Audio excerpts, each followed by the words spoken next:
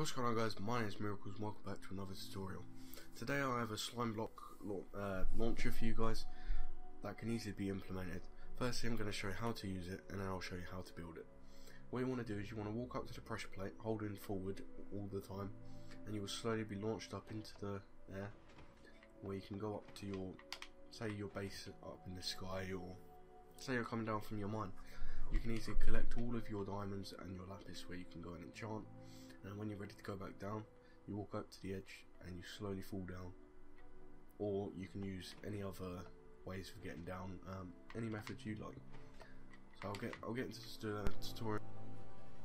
Okay guys time for the tutorial.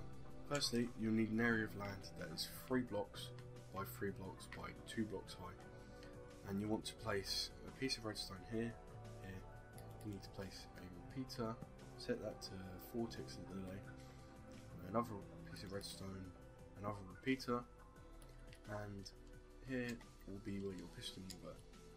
Now you want to place your slime block and you want uh, immovable object to be placed on all four sides of the um, slime block otherwise it will lift up the blocks and here you need another piece of uh, thing sorry and you want to place your pressure plate on top so when you stand on the pressure plate will be popped up.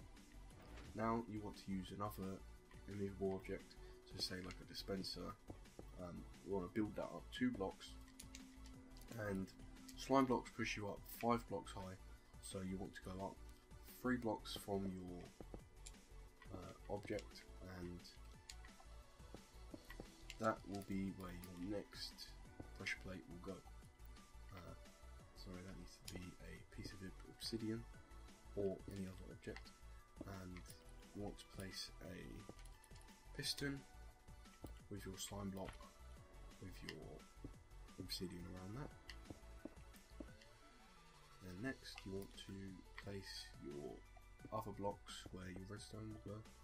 And you want to put it in this this order. So two blocks and then two blocks and you want your repeater to go here redstone set that to 4 ticks redstone, 4 ticks, and that is another one done. And I'll do one more just to show you again how to do it. So you want to go up two blocks, and then you want to go up another three. Place your obsidian, and then your pressure plate, and then you want to place your piston with your slime block with your objects and then stone bricks or whichever object you want to put your redstone on. I just prefer stone bricks. Uh, repeater redstone redstone repeater. 4 ticks delay on each of these. And you want to if you want to make it high obviously just continue doing what I've done.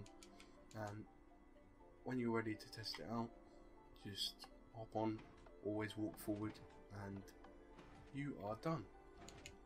So I hope you guys have enjoyed this tutorial. I'll have plenty more to come in the next few weeks. Hope you guys have enjoyed. My name's Miraclez, and I'll see you in the next video.